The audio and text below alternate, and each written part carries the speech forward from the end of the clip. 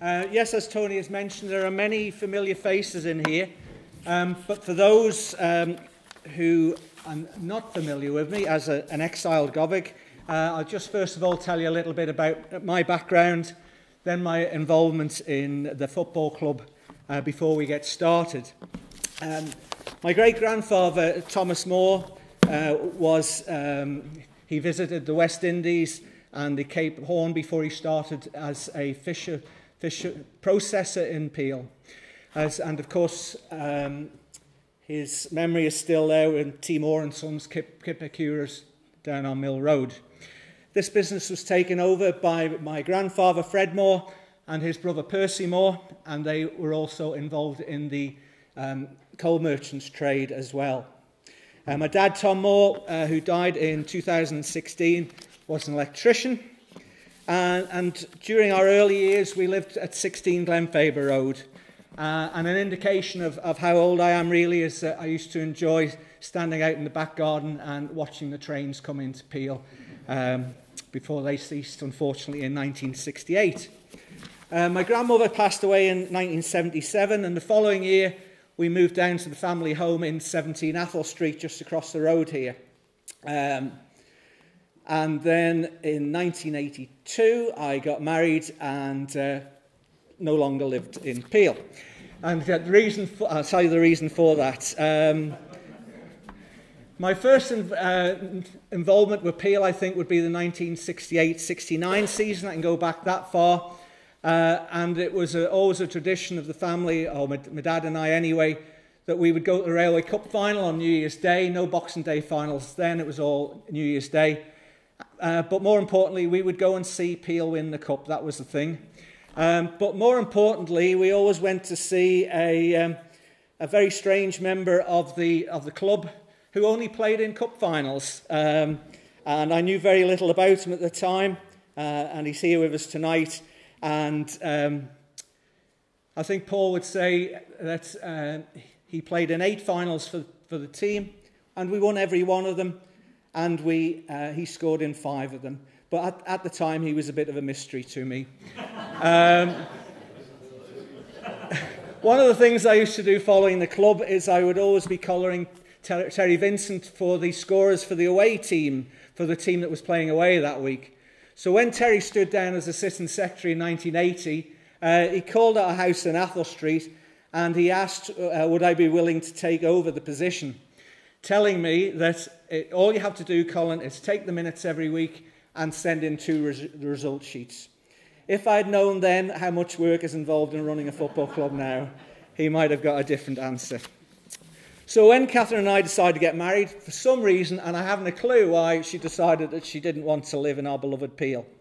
So I said to her, they said, right, well, if we're going to do that, then, uh, then Saturday afternoons must be sacrosanct for the match, and Mondays every fortnight for the committee meeting. And we, uh, we agreed on that, and we've been married for 39 years, and I've been an official of the club for 42 years. So I, th I think that uh, agreement has, has seemed to work quite well on that way. So, um, before we get into the start of the club, uh, our, this is our badge. Our badge was actually designed by a lady called June Parrick, and she won a competition that, which club ran in 1980 in order to design it. And I think um, it would be very difficult to improve on this badge.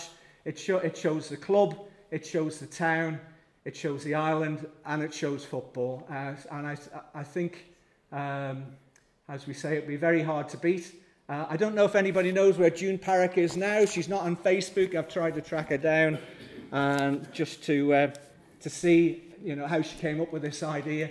Uh, but uh, you know, that's one of the missing pieces I still have to find. So the club was founded on Monday, 1st of October 1888 uh, at the Grammar and Mathematical School, which is uh, down at the bottom of Lower Market Street. Uh, it was actually formed as a winter pastime for the cricket club, who had been formed within the past 12 months.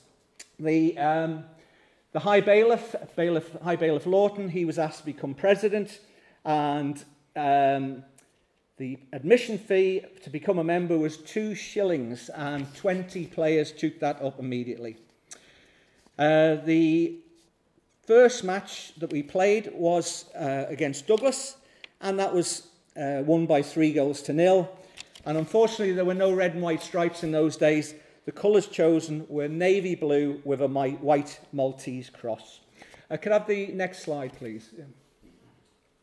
Um, so, of course, uh, there's one or two of us who are seniors here, but none of us were at that meeting. But uh, 100 years and one day hence, we, we were invited to a service at the school by the Reverend Else, I remember, uh, who spoke. His theme was about talent.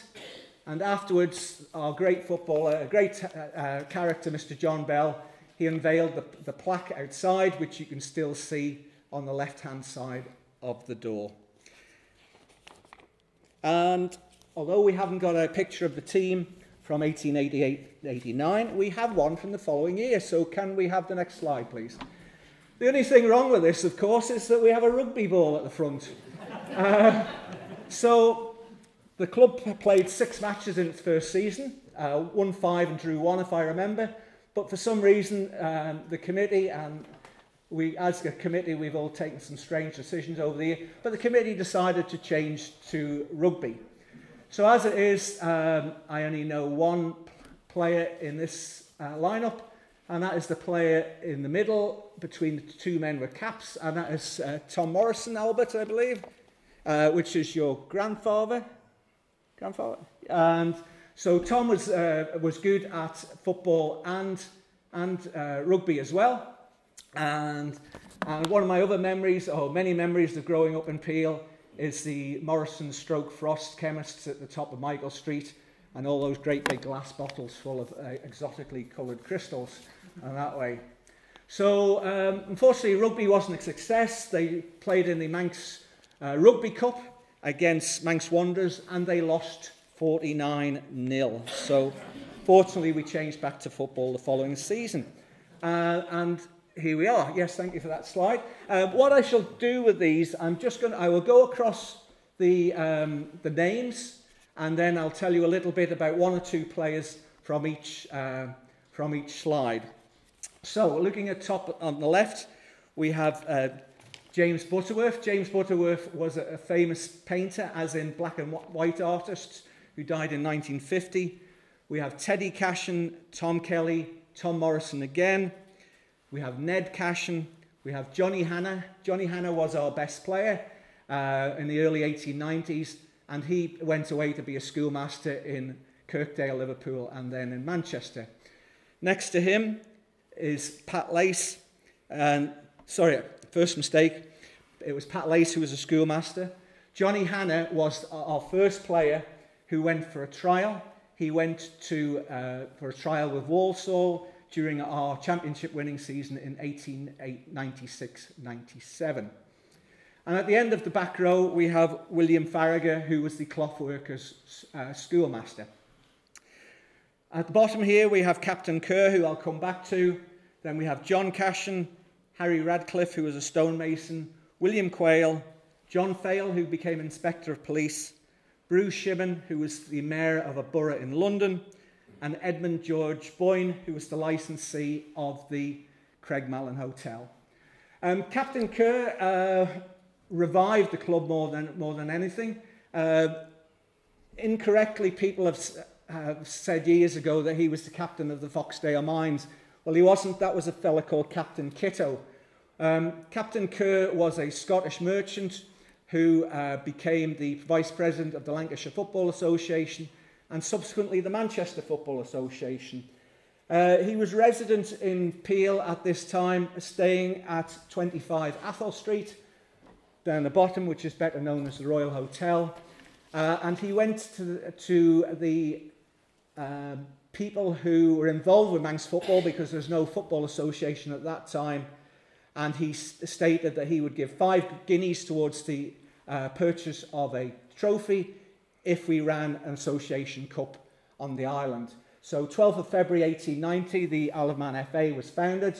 Uh, Captain Kerr was the first president and continued as president the following year. And because we, as a club, were a rugby team, the town was entered by Peel Cloth Workers Old Boys, which was basically the same players who had played for the club the, pre the previous season. The team reached the final, uh, but they were unsuccessful and they lost 4-1 to Douglas in that final. Uh, so, next slide, please. Uh, right, here we go. So, I, looking at this picture, I, I'm pretty confident that this is Mill Road. If we look at the, the buildings at the back, back of, of, the, um, of the people in the top row, uh, and uh, of course the wall is, is whitewashed many times since then. So again, we'll just go along the back row. We have a Mr. Griffiths, uh, Joseph Hanna, William Farragher, the schoolmaster again, John Corris, Captain Kerr with the Scottish hat on, uh, John Edward Kelly, unlike the John Edward Kelly we have now, and again George Boyne, uh, Tom Morrison in the middle, and then we have three Cashins, Ted Cashin, John E. Cashin, who was a schoolmaster, uh, Patrick and John C. Cashin, Harry Radcliffe, Bruce Shimmin, and John Pat Lace. And then in the fourth row, Johnny Hanna, John Fail, James Butterworth, and George Sale. So again, very little change from the previous season. So these boys won the, won the trophy uh, in 1891. They beat Ramsey 6-1. Uh, again, something missing there, no trophy. They still hadn't uh, raised enough money to buy a trophy which wasn't presented until the following year, or was nearly presented the following year. When, um, when the, the team came back on the train, they were um, escorted to the, the Peel Club club room, which was actually in Douglas Street at the time, and then they were um, escorted again, I think, by the crowd to the Creg Malin Hotel, who all sang, Behold the Conquering Heroes Come. So this is our first of our 32 Association Cup winners. Uh, next slide, please. Right, so uh, this is what I believe is the earliest action shot of a game of football in the Isle of Man. Uh, it's down at Port Port-e-Chee, uh, and I think we can make out the player on the bottom right-hand corner with the, the Maltese cross, so it's definitely us. So we reached the final again in 1892. Uh, again, we played Ramsey and we won 2 1. Um, following Tuesday, there was a protest. Uh, the two of our players weren't registered properly, and the association ordered a replay. Fair enough. The replay was 3 3 all. And then in the second replay, we lost 1 0. So, not to be outdone, Peel protested that three of the Ramsey players weren't registered properly. Um, it was getting towards the end of May by that time, and after humming and hawing, it was decided that the trophy would be held for six months each. So, when you see on our honours board, joint 1892, that, that is the reason for that one. Um, and let's have a look at the next slide. Right, okay, so a year before that date, in 1892-3, we had some competition in the town. Uh, I wonder if that is taken in Crown Street, by the way, somewhere in that area with those sandstone bricks. So this um, team was originally called the Peel Rovers. They changed their name to Peel, sorry, um, Peel Juniors. They changed their name to Peel Rovers the following season. And then the season after that, they amalgamated with our club and for one season, we were known as Peel United before that was dropped the following year. Uh, interestingly, th this team played their matches at Albany Road. So um, whether it is where the current home is, I, I don't know, but definitely Albany Road. Uh, and just to outdo the, the present club, this team wore, wore red and white colours on that side. So the players, I think we can see George Rice, fellow of the beards Hud, called Daddy Hudson, um, unknown Bob Anderson, Cobb Fail, the tall fella, unknown Johnny Clark, Inspector Fail, and then the middle row after the first one we have Harry Nolan and Jay Hines. And then in the front row we have Stanley Lucas, Miss One, Levi Garrett, William Rice, and Wallace Bailey. Now, the final two um, I wish to mention William Rice played for Peel in the 1899-1900 Cup final. Uh, unfortunately, during the game, he, he broke his leg. There was a temporary grandstand uh, erected for the game, and one of the spectators on the grandstand unfortunately fainted. He fell off the back of the grandstand and land, landed in the river, which revived him somewhat that way. The gentleman at the end, uh, Alfred Wallace Bailey, he was the captain of our, our team in the uh, 1899-1900 Cup final, which unfortunately, A, we lost 5-0 to Ramsey, and B, uh, Wallace scored two own goals, so not a good day for him. Um, what, as we might have seen on Facebook this, this week, I've managed to find a, a seventh of our players who unfortunately died during the First World War. Uh, Wallace Bailey was one of them. Uh, he died of his wounds in Flanders in 1915, aged only 38, unfortunately. So, um, but he did obviously help us while he was here. Uh, so let's move on a little bit to next slide. Yes. Right, again, let's work through. Uh, James Kelly, who was long-term secretary and treasurer, R.B. Kelly on the committee, Stanley Lucas, um, William Kegg, John Rogers, William Hudson again with a beard, and James Boyd, who was the treasurer, uh, who was a well-known retailer in Peel. In the middle, we've got uh, Mr. R. McNichol, John Cowell, Herbert Lucas, brother of Stanley, um, William Corkill, John Watterson. On the front, William Kay, Bobby Kneen, and Willie Watterson. So we look at um, Stanley Lucas and Herbert Lucas, of course, they were brothers. And at the time, the club's annual general meetings and all their gatherings were held at Lucas's restaurant, which was in Shore Road in Peel. We also have two more brothers there, you can see towards the end, uh, John Watterson and Willie Watterson. And in the middle, we have Mr. Willie Corkill. Um, three from the end of the middle. Now, despite what Eddie Convery might say to me, the club hasn't lost many points for unregistered players over the years. However, uh, in this season, Willie, we signed Willie Corkill and we played him in a match one day after he was registered. Unfortunately, in those days, you had to be registered for seven days. Uh, Peel were deducted two points, and at the end of the season, we ended up in second place, one point behind Ramsey. So a bit unfortunate in that respect. Um, so, but better times ahead on the next slide, I think. Yes, indeed. Right. So we're moving on to 1907 now. Um, top left, we have Charlie, Charlie Kewin. I'll pronounce him at this point. Willie Corkill, Eddie Mylrea, again, James Kelly, the secretary.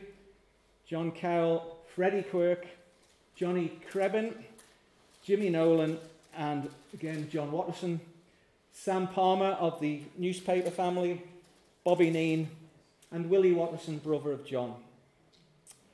So, in this season, uh, we finished top of the league, but Ramsey had one game to play and were a point behind.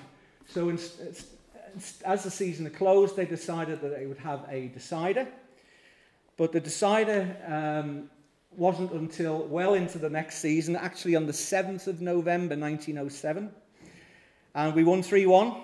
And Bobby Kneen, as Chris will know, is his great grandfather Eddie's brother. And he, had to, he was working in Wigan at the time, and he had to come over on the boat, uh, especially to play in that, as he was the captain of the team. And we got the, the league trophy at the bottom. So on to slide 10 now. So not to be outdone, the second league team uh, also won the league. This is one of very few pictures of the club that we have that we don't have the actual names. The only ones I know is James Kelly, top left, uh, Secretary Tom Kegg next to him. In the middle, uh, next to the man in white with the arms folded, is the wonderfully named Silas Stewardson, who was from Patrick and at the front, the captain, we have Johnny Kane. So this team also uh, had to go to a playoff, uh, and they beat Gymnasium 3 1. And Johnny Kane was one of several players between this date and 1914 who would go off and, and make their fortune in some cases in the New World. What does uh, attract me about this picture really, and many of us in Peel and elsewhere will remember growing up in the 1960s wearing shorts, um, and which were attached by snake belts. So snake belts were uh, uh, around for an awful, awful long time on that side. So, um, okay, let's have a picture of, of Michael, Kirk Michael. So this is a strange one. Um, a, a picture not of Peel. And we're, we're looking at the man in the middle holding the football, and his name was Thomas Moore Mylchreest. Uh, Thomas was the son of Joe Mylchreest, the Diamond King, who, was, who as I hope many of, of you uh, present will know, um, made, his, made his fortune becoming back to live in the White House in Kirkmichael. Uh, also, as is fully documented in the Peel City Guardian, he attended a dog and poultry show in Peel on Boxing Day 1896. And, and returning home to his house in Kirkmichael, he took ill and died a few days later. Uh, he was our second president after High Bailiff Lawton. So his son, uh, Tom Mylchreest, played as halfback during the 1908-09 season. Um, on the 20th of February, we played away to Castletown and unfortunately lost 3-1.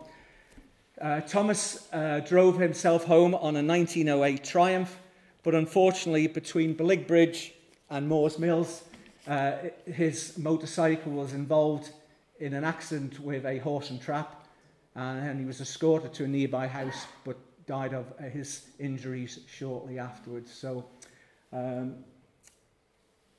another one gone, shall we say. However, on next slide, we'll show the remaining, the remaining team. And there we are, yes. So, um, still no red and white stripes, unfortunately. But top left, we have Tom Kegg, Tom Cottier, the goalkeeper, and Charlie Cowan again. Uh, Harry Kelly, the secretary, Sam Palmer, Bobby Kneen, and Eddie Watterson, Willie Corkill, Ed Benison, which is not a Manx name. He went to Rushen the following year, um, but we'll forgive him for that. Uh, Johnny Creven, Fred Tier, and Philip Moore on that way. So, a couple to tell you about here. Unfortunately, second from the end, Fred Tier was another of our seven who, who passed away during the First World War. He was a member of the Seaforth Highlanders, uh, and he died in 1917, again in France and Flanders, um, age 40. But it's a gentleman at the, at the end who I would say that we have had three world renowned or internationally known footballers of the, uh, at the club. Uh, Philip Moore is certainly one of them. Philip Moore was the brother of George Moore of the Raggett fame. Uh, Philip went away uh, again to um, make his fortune in South Africa and he became a well-known politician over there. Uh, but more interestingly, he was the originator of the currency, the South African rand. Uh, he started that and it's, uh, he's always remembered for that in, in stuff I find on Google now. Uh, he died in about 1981, I think, but he used to come back regularly uh, and ma make little speeches at the club's AGMs uh, in, in later years. So, slide 13. Right, okay. Um, hopefully, somebody can. I, I can never work out whether this one is at the side of the cathedral with Lindale Avenue at the back or whether we're at Heathfield House and Patrick Street at the back. Um, so, if you see me furtively around uh, houses late at night, that'd be the reason, trying to see where this one is. Um, so there were no Cal Cup competition on that day. The forerunner was the cap competition. Uh, and this side won, beating Castletown 2-0. Again, um, Harry Kelly. Uh, those who remember um, Barney's late Uncle Edwin, I do think that looks awful like him. I, I do know those Kellys are related to, to David and his family. And then we have F. F. Kermode, Harry Crellin, uh, Frank Kinrade, and James Kelly again. Bottom, John Quirk, Willie Quirk, Philip Moore again, George Cacken, P. Quain and Joe Irving, Ernie Shimmin and Thomas Cubbon. So, uh, unfortunately, no one to report on the right hand side of the second to bottom row, Joe, Joe Irving. He was the captain of the second team at, um, very early in his career, but unfortunately he died from meningitis in October 2012, aged only 19. So life was a bit short and cheap in those days. Uh, so, okay, next slide, please. Uh, okay, second, second league team. Um, again, lots of good Peel Sandstone there. Tom Cottier, the goalkeeper. James Watterson, Harry Crellin, Silas Stewartson, uh, George Cacken, Louis Quain, Evan Clucas, and Joe Stewartson, Silas's brother. And on the front, Johnny Kane, Bertie Kelly, and Tim Kane with an E. Um, Harry, Harry Crellin, uh, I don't think is of who we know as the Crellin family because I, I think this is a branch of the family that moved to Liverpool because during lockdown I had some inquiries from there, uh, from descendants of Harry Crellin who, who didn't have a family picture of him. Unfortunately, unfortunately, we were able to supply two and they were very, very grateful for that uh, on that side. Evan Clucas, I remember across the road at the Methodist Chapel, him and my dad for many years being involved there. Uh, he again, but he went to the States, but then came back again in the 1920s. Um, Harry Crellin, another one who succumbed in 1916, he died and is, is buried in the uh, Danzig British Cemetery, even in Mametz and that way. So uh, many Peel footballers buried all over the world, really. Um, so moving on to some younger ones, yes. Uh, so we say there was no Cal Cup, there was no under 16 or junior football, but we did have what was called the School Shield. Peel um, regularly reached the final, but, uh, but didn't win it for a while. Uh, the names are all at the bottom, and uh, if you can read all those, uh, my great uncle Percy Moore at the front, and uh, Benjamin Gregor above him. William Henry, the school teacher, he was a. Um, where did he come from? He came from Londonderry, that's where he came from. Yes. And this was the Peel. We had the clothworker school and we had the board school. This team nearly won it. They drew 4 4 with Douglas Secondary School. And it was, again, it was decided that they would hold the trophy um, as shield for six months each. Although the following year, the last year before the war, we did finally win it. Uh, we beat Thomas Street 5 0 and a lad called Jackson Irving scored four of the goals on that side. So uh, that brings us up to the First World War, and and at last in 1920 we seem to have some red and white shirts. Thank goodness that way. Um, lots of familiar names here to me. Uh, first of all, Charlie Kewin, Arthur MacDonald, Bobby Kneen, my granddad Fred Moore, Eddie Kneen, Percy Moore, Ernie Shimmin, Horace Vick, Eddie Watterson, Leonard Sale, and John Quirk. So, first of all, let's tell you about Charlie. Charlie is spelled Q U sorry Q E W I N. Um, Charlie was a Daniel Lace of his day. He played until he was 1946. Um, is a derivative of Keown, and my dad used to say he called himself Charlie Keown. What he wasn't called is what uh, Mr. Keown calls himself on the telly. Um, definitely not Keown. Uh, and, and I think uh, I want to uh, get in touch with him one day and tell, remind him of his Manx roots and uh, to get his surname correct on that. Um, Eddie Kneen, uh, of course, granddad, uh, great granddad, great granddad, um, and he had a baking industry by then. Uh, both in Patrick Street and in Christian Street. And him and later his son Teddy used to uh, stay up all night baking the bread and then turning out for the team later in the day. The gentleman, fair-haired lad, Horace Vick, uh, it looks as though he's got glasses on then, so I wonder whether he played with glasses. He, he went to America, died in about 1967. He scored our only goal that day in a 3 1 defeat to Ramsey. And then two over from him is Mr. Leonard Sale. Uh, Leonard Sale was our first superstar, shall we say. Um, he was a, a, a winger who would like to dribble people. He did get accused of hanging on to the ball too much, but then uh, Mr. Convery, I, I think you were too, in about 50 years hence. Now, Leonard was born in 1897, uh, and his parents unfortunately named him Leonard Joseph Diamond Jubilee Sale, uh, which my dad, uh, who, who knew him in later life, said he absolutely detested. Uh, so he was better known as the nickname Thias, T-H-I-A-S. Uh, so as we say, Thias Sale played from 1920 to about 1934, uh, and crowds uh, were generally happier if he was playing for Peel because they could expect, expect a good show. One person who's not on that picture is, a, is one of our forwards called Wilfred Tregellis. And Mr. Tregellis came from Ramsey the, uh, the previous season before the war.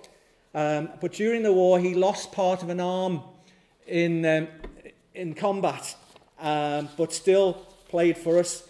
Uh, and he later went and played for Malew. But there was a lot of talk in the paper about whether able-bodied men should actually play in matches with, with disabled men. Uh, but fortunately at the time, they were all permitted. Um, so thank you for that one. Uh, this is a, oh, I think this is a wonderful picture. Oh, um, we didn't, I researched the, um, the grounds, of course, of the club.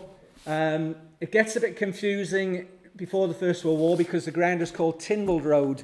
However, I believe it is called, the Tynwald Road ground is the same ground as the Douglas Road ground or is, is a field next door where the links are as well.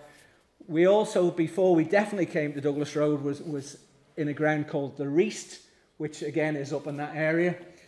But in 1909-10, we played in a ground at Patrick Street below the vicarage, so a bit further over. But this one is close. This is called Close Cairn. Um, and many years later, I worked, in, as we all did, worked in the fish yards in the summer, uh, where this uh, where this ground was on that side. And and the following year after this, after we moved from here, we played on a on a pitch called Brickworks Field, and I think that was over the hedge towards the brickworks, towards the power station end. Uh, this is, um, I, I'm pretty happy I can date this one to Thursday, the 19th of April 1923. The reason being is that on that day, uh, my grandparents, Fred and Kitty Moore, got married and they held their reception at Patrick Street. And on the same day, the Railway Cup final was being played at Peel, uh, which was Rushen 4, Castletown 1 that afternoon. Uh, and there's a regular family story that my granddad got into great trouble because him and his cronies stood out in the backyard watching the match instead of uh, attending to his newlywed and, and the guests at the game uh, on that side. But um, plenty, yes, plenty of hedge tickets there, I would expect, as you call them, that way. So on to the next one. Uh, right, this is one for Mr. Morrison up there. We didn't have Masters teams in those days. What we did have is the fossils, um, and they turned out against various teams, including the Parsons. Uh, the Parsons including, included the famous St George's centre forward uh, Vicar Jordan, who played for England as an amateur international. Players we have here, on that way, we have W. Clark, James Curphey, Harold Maddrell, again, Bobby Kneen and Sam Palmer. Uh, Cornelius Kay, Corny Kay, he was the uh, proprietor of the Peveril Hotel. Uh, Tim Kane and Tom Kegg, and Fred Kelly at the end. Fred was the first of our life members. He'd been involved with the club since the turn of the century uh, as chairman for many years. Uh, he was an insurance agent.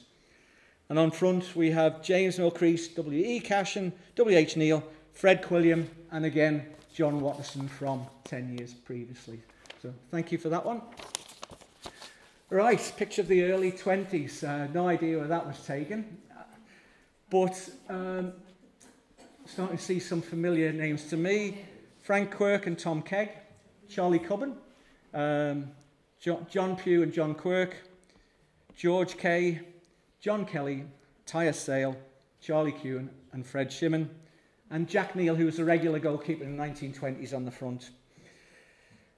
Um, in 1984, uh, when I'd been in the job for a few years, I went to Douglas to Woodburn Road and I, I managed to interview Charlie Cubbon uh, for an hour at the time. Uh, as I say, he, he had played in the School Shield final in 1914, so it could go back quite a bit. Uh, I've still got that cassette. Unfortunately now and nobody's got anything to play these things on, so goodness knows what's on it. Uh, go, oh, can we just go back one there, please? I'm not... Thank you. Yeah, on that one. Okay. Um, the man with the fag in his mouth is uh, John Kelly. Right, there we are. There, yes. So, John's claim to fame, the Green final started in 1924. And in the first game of the season, he scored four goals. And in the next game, he scored a hat trick. So when the Green Final published his first, the first leading goal scorers, uh, John was top of the tree. Uh, unfortunately, he only scored one more that season, so he very quickly fell, fell away from that. Um, George Kay was the son of Cornelius Kay. He was known as Joy, uh, obviously a happy soul. And at the far end is Fred Shimmin, who was a relative of mine. Um, Fred attended the Railway Cup final in 1952 and died on the way home. Um, so it must have been quite quite a game that one. Uh, had a, a, heart attack or something. So yes, yeah, so uh, thank you. Uh, right, so here we have yeah, right. When we look at the facilities of the club now, they, they are second to none, as are many of the um, grounds on the island. However, in these days, the boys used to change in what was called the dressing hut. Um, that way. So again, we've got John Kelly, we've got Tommy Tier, we've got Billy Kane and Freddie Neal, Charlie Cowan still playing, and Bob Garrett. On the front, we have Phil Garrett, we have Sidney Kelly, who I re remember as a young, young man, Willie Corkill, Walter Arrowsmith, and John Quirk. Um, I haven't a clue what this is. It's, it's either a, I seem to think it's a represent, representative game, a charity game or something, because all those players look um, quite old, uh, even older than the back for the, for the combi that we put out a few weeks ago, that way. Uh, and also, Wal Walter Arrowsmith, who was Robin Arrowsmith's father, as far as I can tell, he never played a, a game for Peel. So um, I'm a bit of a mystery of the occasion when, when this was taken, um, but uh, that was our that was our building in those days. So moving on to 1925, this is a well-known picture. Uh, it appears on Facebook now and again, and that way. So on the left we have Jack Jocken, who was our treasurer, our fullback Tom Collister, and Jack Neal, the goalkeeper. The other fullback Harry Quirk, um, then Fred Kelly, the chairman, and a young Harry Clark of, of the news agents um, fame, renown at the end. Eddie Kneen, who's put on a bit of weight by that time. Uh, Bob Gorry, Frank Cannell, Thias Sale with the, with the cap on, and Jimmy Walker. George Kay, Frank Quirk, and Evan Clucas. So Harry Quirk played football across at a high standard. Um, and when he came over, himself and Tom Collister were the fullbacks for the rest of the decade. Uh, and he was known as Harry Big Kick. So there probably wasn't a lot of finesse in his style of play. That way. Um, who else have we got? Yes, indeed. Yes. So on the day of the final, two of our players in the middle, Bob Gorry and Frank Cannell, they, they worked for the steam packet on the SS Peel Castle.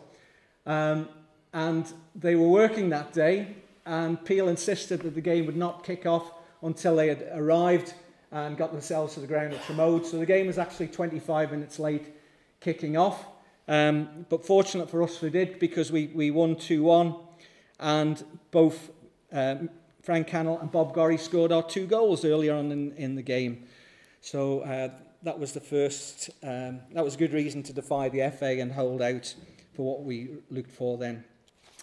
Uh, this was important for Eddie Kneen. Eddie had been playing uh, since about 1907. He'd even fallen out with the club at one stage and gone to Wanderers, but he finally was back and he finally got his winner's medal, which he'd been looking for for, for some, some time on that, um, on that side. And we mentioned Joy Kay before. Uh, Joy went off to Australia to be a golf professional, and there was there's extensive um, reporting in the papers about he and a colleague won a foursomes match uh, in Australia against the then Open and US Open champion Gene Sarazen, uh, and it caused a great um, excitement at that time for the standard of his play. Can I ask a question? Of course you can. The cup is beautiful. Is that still around? I know it's a. Uh, yes, it, yes, the, cup, the cups are all around, and we're only allowed to take them out on for dinners now uh, that way, um, due to some incidents which I'll tell you with trophies later on. Uh, right, next slide is of a young man. No, no, this one is all right. We still got this one. Uh, so here we are, similar names: Tom Collister, Robbie Crellin, and Harry Quirk. Uh, Tommy Lancaster, Charlie Cubbon, and Frank Quirk. Ted Kelly, John Daglish, a young Jimmy Moffat now, uh, Thias Sale, and Jimmy Walker. So, if we look at uh, Robbie Crellin first of all, Robbie could play goalkeeper, centre half, and centre forward. And Robbie, of course, Pat is a member of the Crellin family who, by my reckoning, have contributed more footballers to the team than, and the club than any other surname. Um, I think nine off the top of my head Robbie, Billy, and Jimmy, Brian, and Kenny, David, Victor, and Paul, and probably one other who will come to me later on that way as well. But a great, great servants on the field of play to the club on that side. Uh, Michael folded at that time for a few years, and Johnny Daglish was a member of the Michael team who, who came down on that side. Jimmy Walker at the end, another one. Uh, he was to die uh, at the young age of 32 um, in 1931. So um, must be grateful that longevity is better these days. Okay, so on to the next one. Uh, very familiar face to those of us who were growing up in the 60s and 70s, George Clegg, who played for the second team.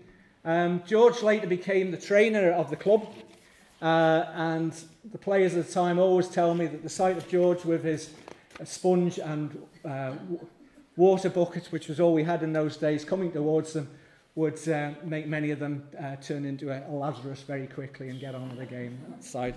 So, so that, that was George. Um, okay, on to the next one, a, a social picture really. Uh, I do love the, the ladies' hats in the late 1920s um, and also the caps that the small boys are wearing. Uh, Eddie Watterson, if, if you've been paying attention, was in the 1909 Cup final. Hadn't played for a couple of years, but this year he was brought back to captain the side, uh, and we ended up winning the, the Hospital Cup. Uh, and there's Eddie uh, picking up the trophy. And again, um, he was age 38 then, and, and again, he had uh, departed uh, this life by six years later. So at least a moment that everybody will remember him for that way. Right, uh, again, oh, again, a very familiar picture to many of us. I do believe this is Heathfield House, looking at the steps and the door that way. So this is the 1930 team. Uh, back row again are two fullbacks, Tom Collister and Harry Quirk. Between them, Robbie Crellin. Um, and over the far side is Jack Jock and the chairman. Reggie Bell, Tommy Tier, Alan Gorry and Frank Quirk. Front now we have Herbie Martin, Jimmy Moffat, Jack Shimmin and Thias Sale. So this team beat Old Boys 4-0.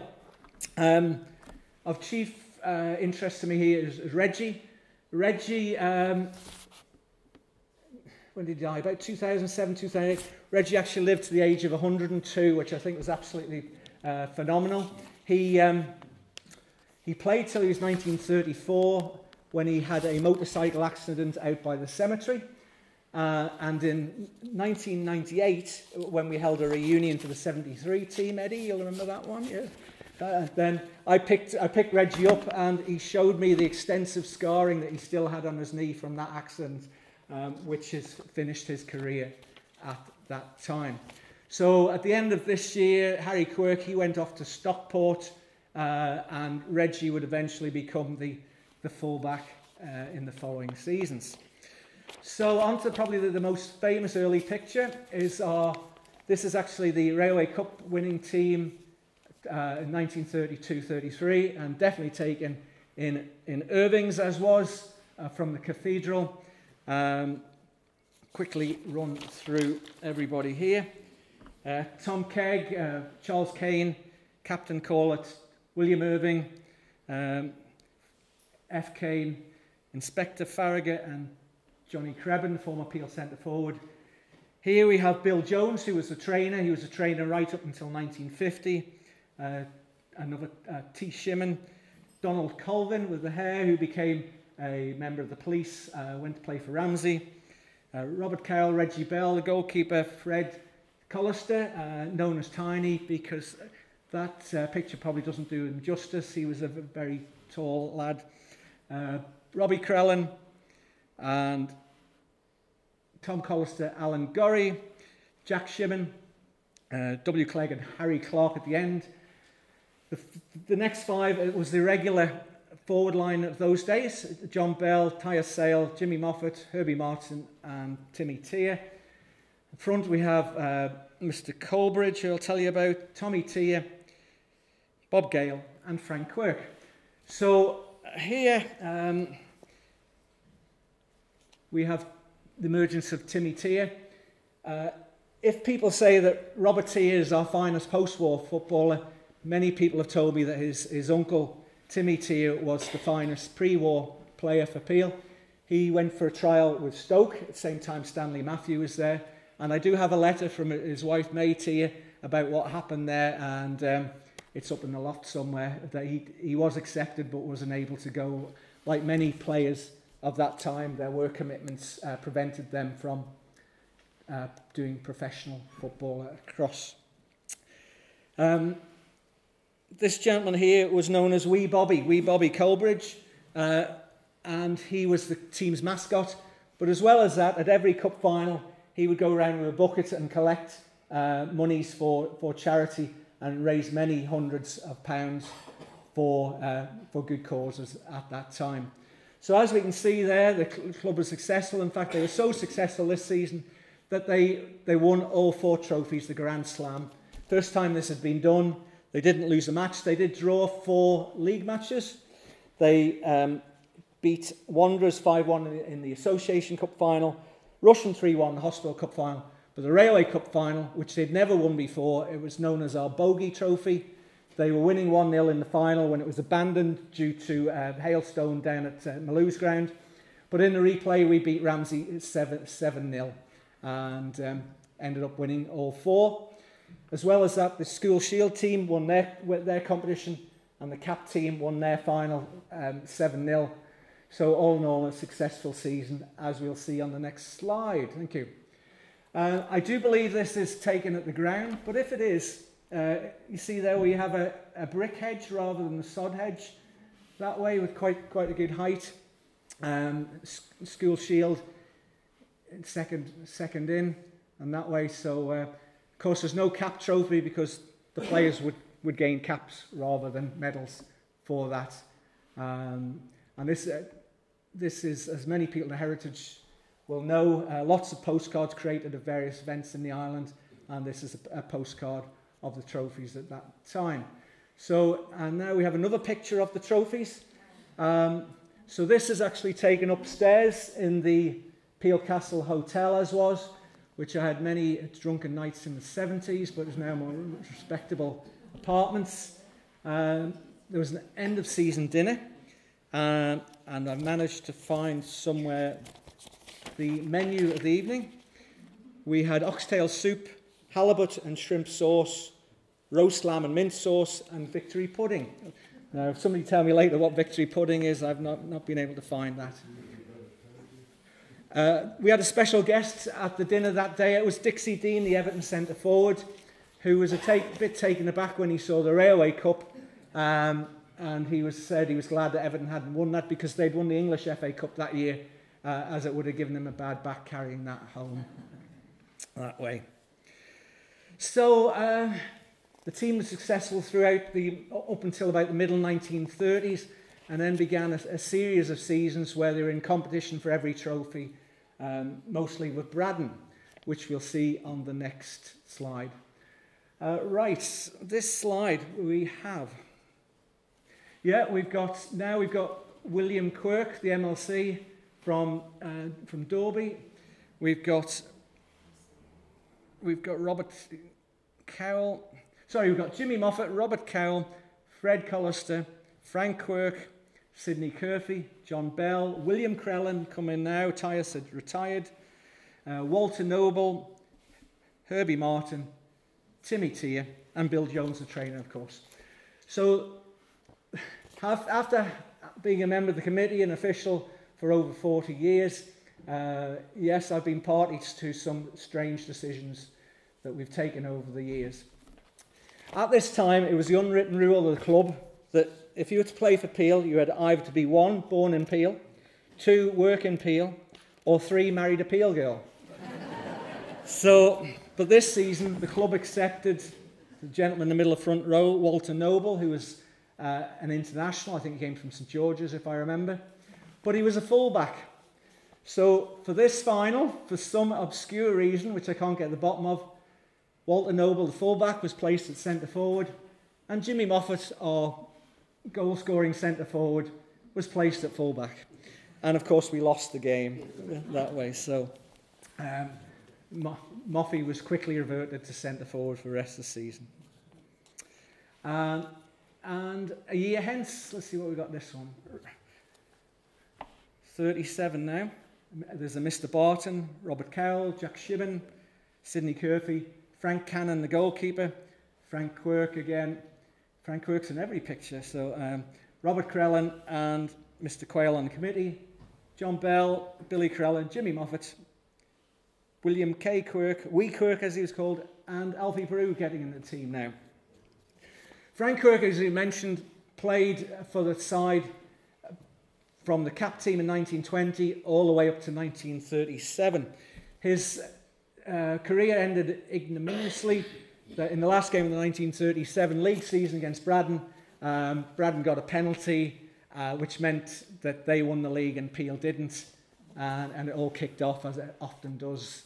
Uh, and Frank was sine died, which meant that, that that's your career. He was actually the second Peel player to be sine died that season. The other one was uh, Donald Kneen, who would be, um, was that Teddy's brother? Yeah. Yeah, that way. So um, they were not to be uh, messed with in those days, the Peel players that way. Uh, and now to a young side, the next one, getting up to that. Right, School Shield winners again. Uh, Harry Hill, the headmaster. Um, Laurie Ledley, uh, young Teddy Kneen, Roy Wilmot, Cecil Moore, Frank McLean, and Glenn Garrett, Harry Craig, and then the schoolmaster, the sports master, R.E. Corlett. On the front, well-known Peel centre forward Harry Cowell, Will Keown, Fred Corgish, Alan Quilliam and Alan Sloan. Uh, Laurie, Laurie Ledley didn't play much for us, but his, his brother Bernard did um, quite a bit. Uh, I did hear one tale that uh, in one second team game, the, uh, Bernard was opposite a very fast winger for the opposition, and somebody from the crowd shouted, "Hit him, Bernard!" And Bernard did, yes that way, so that was the end of him. Uh, on a poignant note, the second man, second lad from the right, and next to the schoolmaster, is a young man called Harry Craig. As far as I know, Harry Craig is the only one of our players who died uh, in service in the Second World War. He was on HMS Holcombe, uh, escorting a convoy to Algeria uh, when his ship was uh, hit uh, by a missile from a U boat uh, in 1943, uh, so we lost him as well, aged only 20. Harry Cowell, of course, became our, our centre forward uh, in the 1950s, one of only four players that I know of who've scored 300 goals for the, for the club, and that way. So, um, a couple more before I have a, a little break and a drink of water. So let's get some committee now. Uh, um, now again, the two on the right at the top and the one on the right at the bottom, I don't know them. So if anybody knows those three, let me know on a postcard on there. But we do have some well-known Peel gentlemen there. We have Walter Jenkinson, we have Robbie Crellin and John Bell, who are the players' representatives. P. Quayle, uh, who looks a bit red in the face, and R. Barton. On the front, of course, Tommy Wilson, Harry Clark, George Moore, and George Gale. So, first of all, of course, Tommy Wilson, first sighting of Tommy Wilson. Uh, Tommy was still on the committee in 1982, in my first couple of years. So, as far as I can work out, he did 46 years service, including the war years when he was trustee of what became known as Peel Football Club. Uh, so I've got four years to go to catch Tom, Tommy, so uh, uh, hopefully I can, I can do that. Um, but the main man on this picture, of course, is George Moore. Um, George Moore, in, we bought the ground in 1957 with the aid of, of a grant, shall we say, of a thousand pounds from George Moore. The only stipulation he made was that, um, that if he, the club accepted this money, then we wouldn't uh, play football on Sundays, uh, which worked well for many years. However, in the early 1970s, the Hospital Cup competition was switched to a Sunday afternoon and Sunday evenings as well. Uh, and A, the cl club, which was very successful at the time, had to play home matches away for a couple of years. But secondly, we had to raise the money to pay George back his, his thousand pounds. But it's fair to say that uh, reading the archives that we found it very difficult to, to buy a ground. Uh, the Irving family were not uh, keen to sell it to us for many years. Uh, also, where the park is in Westview, we tried to buy that in the early 1950s, but it was deemed to be too small. Um, so we were able to buy our, our present home and hopefully our home for many, many years to come. So, okay, on to 1938. Uh, this match is played at Four Roads, uh, Port St Mary, which was Rushen's ground bef before their present one. Uh, team is starting to change a little bit now, but Robert Cowell, a young Eric Gale, Sidney Curphey, and Robbie Crellin, Alfie Brew, and a young Henry Hartley. Okay. John Bell, um, Billy Crellin, Willie Quirk, Arthur McNegan, and of course Timmy Tier. During this season, all the finals were against uh, Braddan. We won. Uh, we only won one out of three. The last one, the Hospital Cup. However, in the, in the run-up to this final, uh, a referee called Mr McLean was appointed and the club refused to play under, uh, under, under this referee. In the interests of charity, uh, the FA reluctantly changed the referee and we, we won the game 2-0. Um, however, at the following executive meeting, uh, it was proposed that the club be suspended and its league form uh, be um, wiped, wiped off from the table for its, its unsporting um, behaviour. And, and this was agreed, which was a pity because there was one league game left against Braddan of all people, and we were only a point behind at that time. So one more slide before the interval. This is a very poor one. I've never managed to be able to find a, uh, an original of this, um, but it does have, it does have some interest. Um, for the following reason uh, on that way. So Robert Carroll, Eric Gale, Sidney Curphey. The goalkeeper is Donald Rice, um, Alfie Brew and Henry Hartley, Arthur McMeegan, Willie Quirk, and Harry Lamb, and Timmy Tier, and again a young Jimmy Crellin coming in the team now. Uh, I just want to mention Harry Lamb. Uh, in 1938, um, at that executive meeting, it was actually Harry Lamb who proposed that the club be suspended and, and thrown out of the league. He was at Rushen at the time, and then for some reason we allow him to transfer to Peel. Uh, and he was a forward and he scored quite a few goals for us that year. However, he's, he's better known, or um, famously or infamy, that in 1947 uh, Harry was, was jailed for 18 months for bigamy at the Wiltshire Assizes. He later became a coach driver uh, and was formerly a St John's chaplain. And apparently, during the coach trips around the island, he used to regale the tourists about how there'd been a, a, a chaplain in a church over here who'd committed bigamy, bigamy and been put into jail. However, he no, never told them that it was him that way. Uh, so we come to the war years now, but I'll just have a drink of water if I may. Thank you very much. there we go. Of course you can. Does anybody know Arthur McMeekin, which McMeekin's that is? Say it again. Ma- Arthur McMeekin. Arthur McMeekin. Which McMeekins that is. Um, there was there was a, there was an Arthur McMeekin who played a lot, and there was an Alan McMeekin. So are we looking at Billy Well, I think it's Fred's father. The in D- Douglas? father lived down Mill Road, Matt Right, yeah, yeah. I remember I remember the Douglas Street McMeetins, yes, and that way. But I, I will. I do have a, re- a register of where they where they lived, so I'll see if I can dig that one out. Uh, we're now into 1946. When football was eventually resumed, um, there was no time for a league contest, but they did have the Association Cup and the Hospital Cup, Junior Cup, and Cowell Cup, and that way. So we have some survivors from the previous um, before the war and some, and some new players on that side.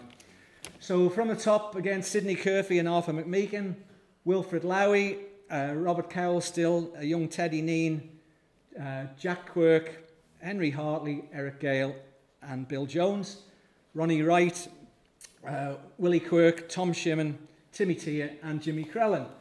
So a few bits to tell you about this one. Um, when we came up to the club centenary, I sat down with Hayden Cubbon and Terry Vincent and talked to them about the best footballers we've had. And they got into awful trouble because they picked this gentleman, Ronnie Wright, as the, the, the they both said he was the best winger who had ever played for Peel. Unfortunately, of course, he left the island. He lived in Foxdale and was only here briefly, so none of us, none of us uh, had ever seen him. Uh, but he did, they did say he was ex- exceptional. Uh, Tom Shimmin at centre forward. Tom Shimmin was a, a, um, a prolific centre forward.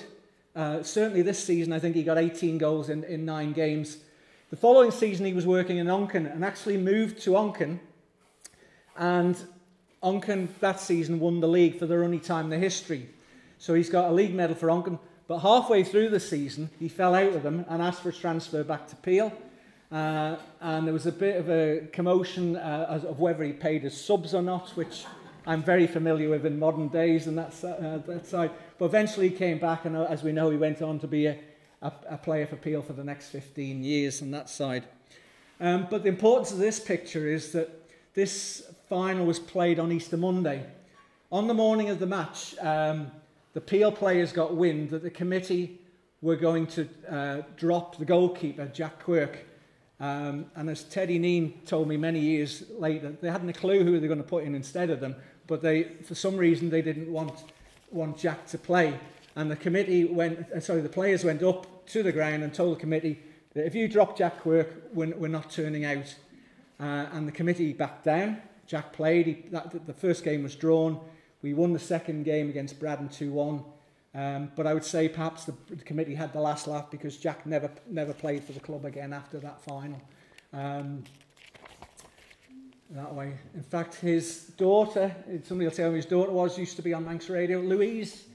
Yes, Louise was his daughter. And, and, and they used to have this picture down in, in the pub when, down south when they kept, kept that uh, side.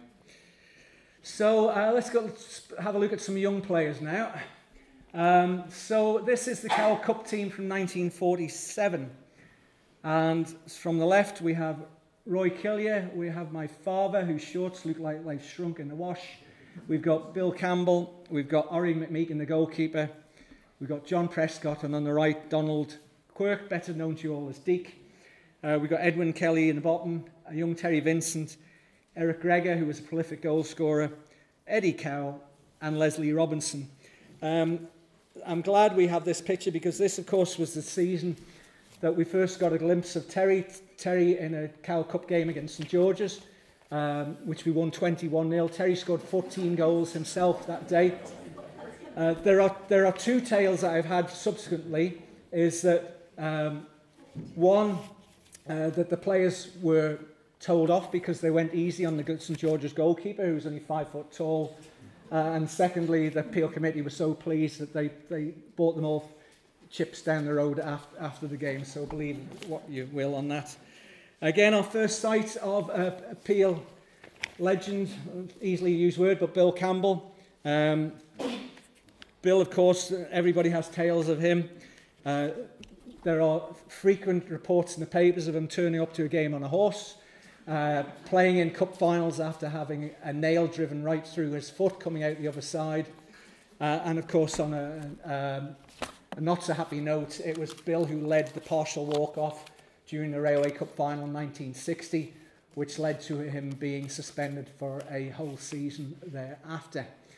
Um, funny shirts. Uh, the minute books do say that in those days they had to have a collection of coupons straight after the war, and they managed to get ra- new, raise enough coupons to buy new shirts, but unfortunately not not red and, red and white stripes. So um, I've no idea. oh, terrible. But yes, in that way. It looks like your rugby shirts. So um, let's see who we got next. Next one.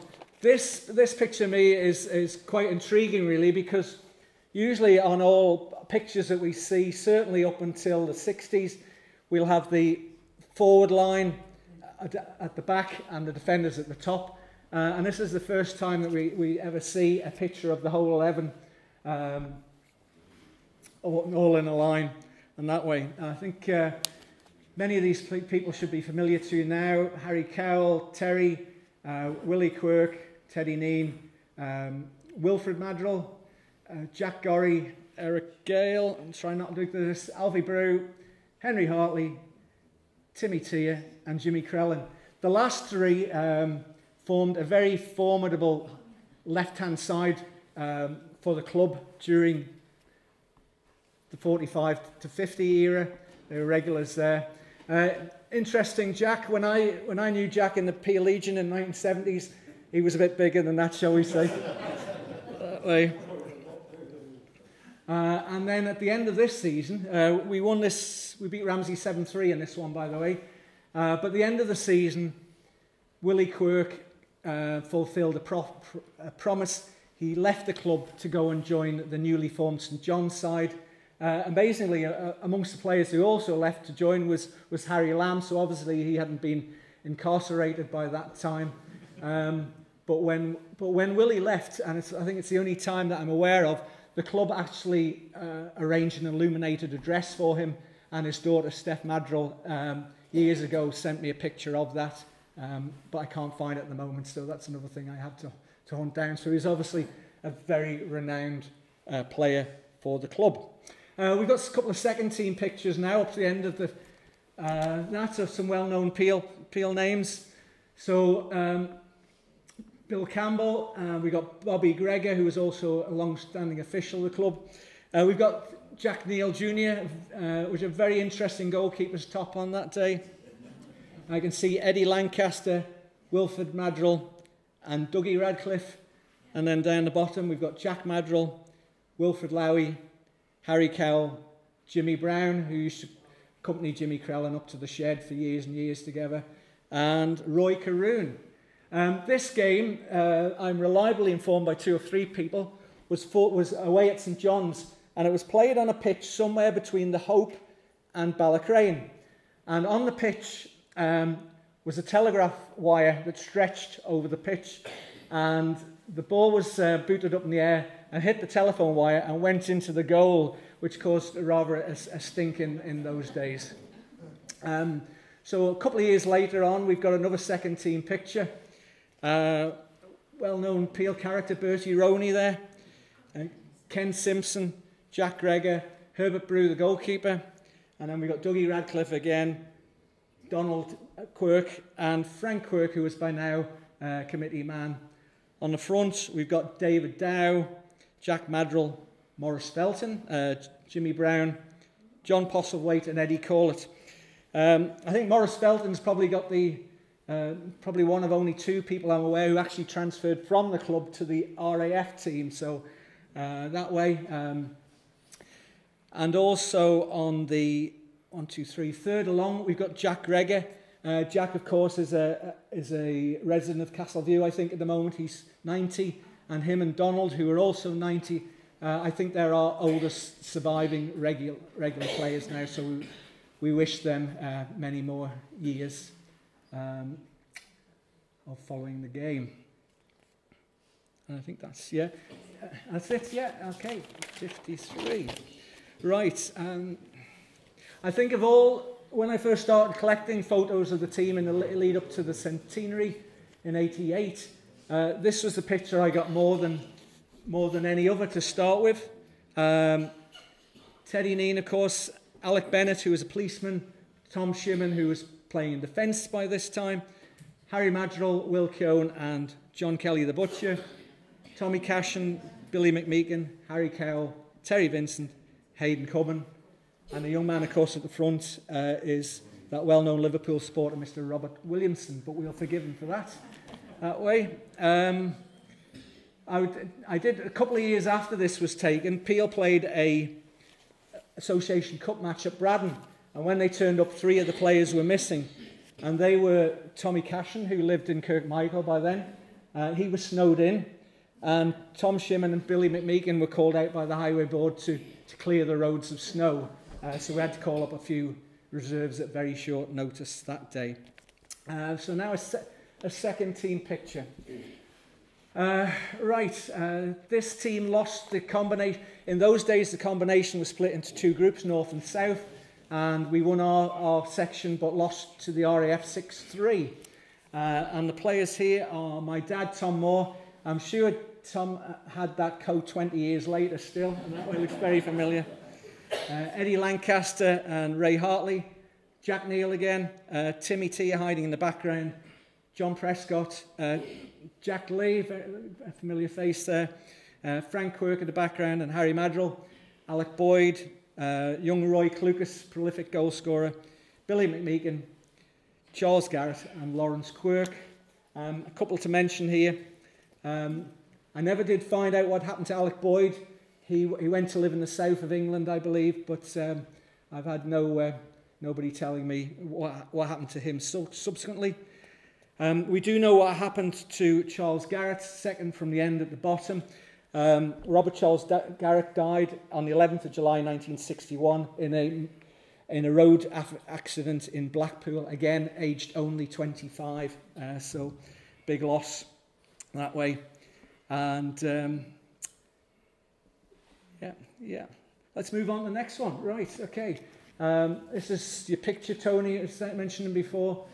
Uh, we lost a great young player for a while anyway, in 1953, when Hayden uh, moved to Canada. So we got Tom Sherman and Terry Vincent. Hayden, we got Glenn Garrett at the back. We've got uh, Norman Radcliffe and Teddy Kneen. Man at the back, I don't know. And we got Stanley Quirk, president. First sight of John Kelly, long-standing chairman. Harry Cowell, uh, I don't know that gentleman, if anybody knows him, second from the end. And Alec Bennett, the goalkeeper. So Hayden, of course, was born in Australia, um, and he was a policeman, but he, he moved to Canada to work in the building trade for a, a manxman called Harry Collister, who had moved uh, over there some years previously. Um, but Hayden would be back with devastating results, as we will see later on that way. So, next slide, please.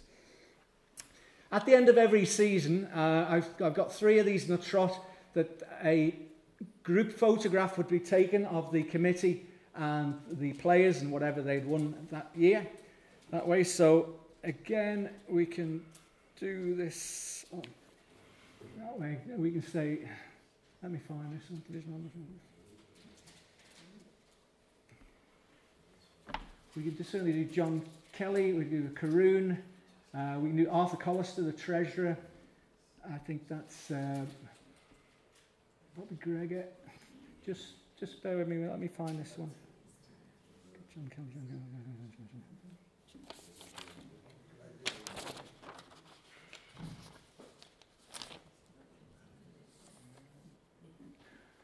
Okay, uh, let's move on. Let's do what we can do. Eric T on, on the front. Eric T, Tommy Cashin, Hayden, uh, Harry Cowell, and Terry Vincent, and Eric Gregor. John Kelly, Teddy Kneen, Will Keown, Alec Bennett, Glenn Garrett, Tom Shimmin, and Harry Maddrell. Uh, Tommy Wilson, of course, and behind them.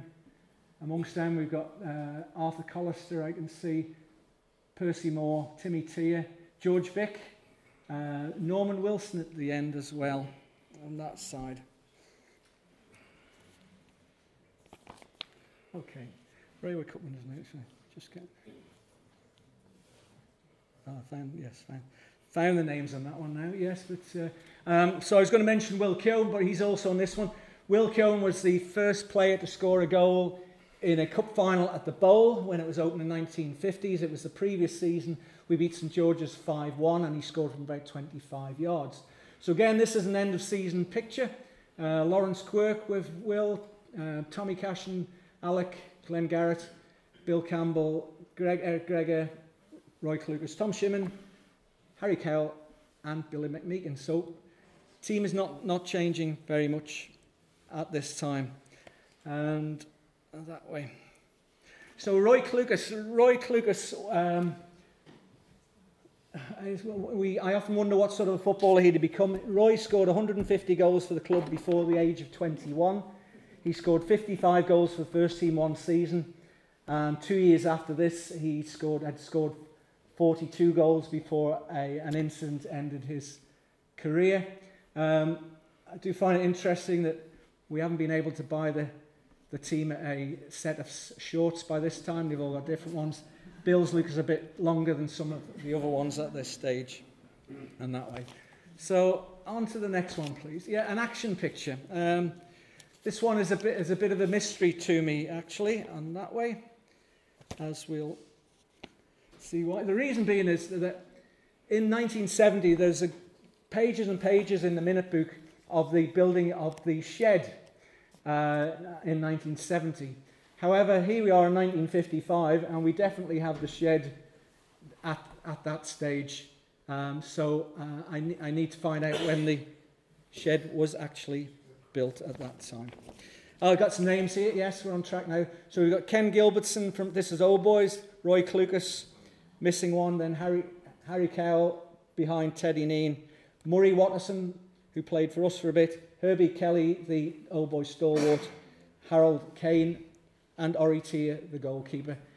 Uh, these days, we often get complaints from the players about the state of the pitch, but I think if they had to play in, in that one, uh, they'd be happy enough with what they've got.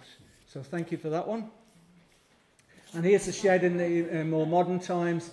Uh, Will Keown, Jimmy Brown, I see my dad, Tony Corkill not paying attention as usual, uh, Terry Vincent, um, Brian Lease over in the far end. Um, the shed is, is where, shall we say, those who have seen it all and done it all stand uh, and woe betide a young player who um, upsets them during a game. The leader of the shed for many years was called Tiddles Moore, and one young player was, was going past and made a bit of a, a Hoss's, Hoss's backside sort of thing, and Tiddles uh, berated him, and he said to Tiddles, he said, oh, you know, come on, I'm doing my best, come on. And Tiddles' retort was, well, if you're doing your best, I'd hate to see you doing your worst, sort of thing. So, so they could be very, very destructive uh, on that side. So um, thank you. And next. Right, here we are. Uh, as we say, the, the combination uh, played in sections. And this is, again, the PL team that won their section and played in the final at Onchan Park. Uh, the, I don't know if you've spotted what was wrong in that picture. Um, if you haven't, there's only 10 players. So we, we played um, Onchan uh, in this match, and the missing player is Harry Maddrell. Harry was at the time working on a boat, uh, sorry, he was working at Runcorn, and so on the day of the match, he was whisked by boat to, um, to play in the game. Uh, by the time he arrived, the match was well in progress, and we were losing, and my dad, who was captain that day, uh, tells me he, he and the rest of the committee were getting extremely berated for not picking something somebody else. Uh, fortunately, when Harry arrived, uh, tables turned. Uh, Eric Gregor, the centre forward in middle left, scored four goals, and we eventually beat Onchan 5-1. So all was well. So the players there, uh, we, obviously Tommy Garrett, the, the um, man with the water, uh, Robin Arrowsmith, and then we've got some Cowells. We've got Eddie Cowell and John Cowell, goalkeeper uh, Tom Moore and Ray Hartley. Front for now, we're seeing some youngsters, Stevie Quayne and Gordon Lowy, Eric Regger, Lawrence Quirk, and Eric Tier. So thank you for that one. Right, things began to change uh, towards the end of the 1950s. The club signed five members of the Air Sea Rescue Service and also some members of the mobile catering unit, which was based at Mount Morrison. Um, chief amongst these, of course, uh, second in was Brian Bride Middleton, uh, and on his left, player who he played for one season, Mervyn Williams, Mervyn Geldart Williams of all, all. And if you Google him, he still seems to be about somewhere uh, that way. Um, we now had a, a new goalkeeper, Teddy Kelly, who'd come from St John's. Teddy Kneen, Tommy Cash, and Tom Shimmin. At the front, Hayden was back. Billy McMeekin, young Biff Lowy, Terry Vincent, and Harry Cowell. So we reached the final uh, again in, in 1957. Um, but because Hayden was back, uh, our centre forward, Roy Clucas, again, he'd scored 42 goals already that season, including 10 in one match for the combination. Uh, but he was dropped to allow Hayden to play. Um, we lost the final 7 3. Uh, Roy never played for us again. He transferred to St John's, and the following season, St John's of all our teams beat us 6 0, and, and Roy was instrumental in that victory. So uh, he, got, he got his own back for again another committee decision. Um, on to the next one, and this is just shows the crowds again not just FC Alaman that gets big crowds. Uh, and here was uh, our stalwarts, Tommy, Terry, um, Teddy, and Tom Shimmin leaving the game uh, with runners-up medals these days for a change. Thank you. Right, 57, 58. Right, yes, here we are. Uh, so these should 99% be familiar to everybody. George Clegg, uh, Mr. Colvin, Tommy Cashin, uh, Leslie Holzall, who is still very much with us, uh, Alan Sploosh Quirk, again, who is, uh, Bill Campbell, Tony Williams, who we'll come back to, Michael Dawson, again, who's, who's still in good health, Timmy Tier, Tommy Wilson, and George Vick. Front, we have Secretary Peter Clucas, then we have Stephen Quain, Gordon Lowy, Terry Vincent, and then the stalwart Billy McMeekin and Harry Maddrell with Bobby Gregor on the right. So a couple to mention here. Uh, on a sad note, Peter Clucas, uh, secretary, club secretary, he died in 1961, aged only 32. Uh, that permitted George Clegg to become secretary, and that permitted Terry to become assistant secretary, so we have the line then. Uh, but of course, the important man is on the back row, Mr. Tony Williams. Uh, the second of our um, internationally famous uh, footballers, I would say. Tony was with the RAF and he joined us for half a season and played 10 matches. In the, for the first team, in those 10 matches, he scored 20, 24 goals. He also played for the island. Um, not sure what the uh, uh, rules were about playing then, but he, he played on Good Friday in the international match as well. He later became more famous as the editor of the Rothmans Yearbook, um, that big purple tome, which I've got three at home, and then following that, the non-league football directory. Um, and he's still, he's still with us. I, I, he came over here a few years ago, and I, I talked to him up at headquarters at the Bowl. Uh, so obviously a man to whom football means a great deal. Played for of Corinthians, Casuals. He, I think he also played in the Channel Islands. He played amateur. He was an amateur international for the island, for the Channel Islands, and for England as well. So uh, quite a famous footballer uh, in those days. So on to the 60s now, we're getting there. Um. There you are. There's one, two, two familiar there. Oh yes, got that one. Um, about three years ago, during my research down the museum, we came across uh, many boxes of um, negatives that had not been uh, sorted out. And uh, amongst these, I found another dozen or so of Peel teams. Uh, and this is one from 1961. Uh, and of course, we have Colin uh, now at centre half in the team, Tom Shimmin, uh, vet, the veteran, uh, Teddy Kelly with his beard, um, Brian, uh, Henley Crow, the school teacher, and Alan, Alan Quirk. Front, we had uh, Ted's brother, John Kelly. Uh, we had uh, Mr. Lowy, we had Tommy Quilliam, Terry Vincent, and a young Robert Tier on that side. So, um, John, of course, uh, was the centre forward. We've actually had eight John Kellys, which makes it a bit, bit difficult over the years.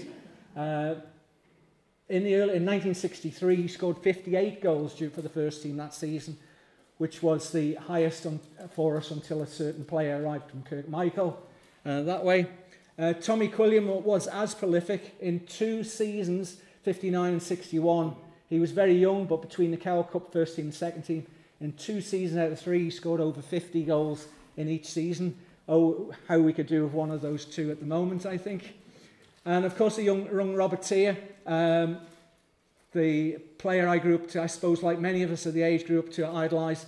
Um, 1958 to 1982, um, with some years away for his uh, teaching, teaching service and that way, uh, but a, such a marvellous player for us uh, during that period. So, uh, on we go, we're getting there, yes. Uh, and on to the next one, yes.